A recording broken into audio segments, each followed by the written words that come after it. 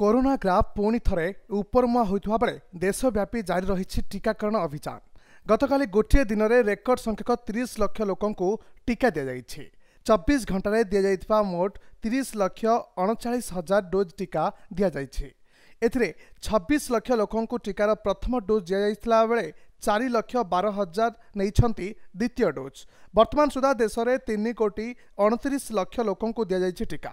ଗତ ପନ୍ଦର ଦିନରୁ ଗତ ପନ୍ଦର ଦିନରେ ଲକ୍ଷେରୁ ଅଧିକ ଷାଠିଏ ବର୍ଷ କିମ୍ବା ତାଠୁ ଅଧିକ ବୟସ୍କଙ୍କୁ କୋଭିଡ୍ ଟିକା ଦିଆଯାଇଛି ବର୍ତ୍ତମାନ ସ୍ୱାସ୍ଥ୍ୟକର୍ମୀ ଫ୍ରଣ୍ଟଲାଇନ୍ କରୋନା ଯୋଦ୍ଧାଙ୍କୁ ସମେତ ଷାଠିଏ ବର୍ଷରୁ ଅଧିକ ବୟସ୍କ ଓ ବହୁବିଧ ରୋଗରେ ପୀଡ଼ିତ ପଇଁଚାଳିଶ ବର୍ଷରୁ ଅଧିକ ବ୍ୟକ୍ତିଙ୍କୁ ଟିକା ଦିଆଯାଉଅଛି ବ୍ୟୁରୋ ରିପୋର୍ଟ ସମୟ ଲାଇଭ୍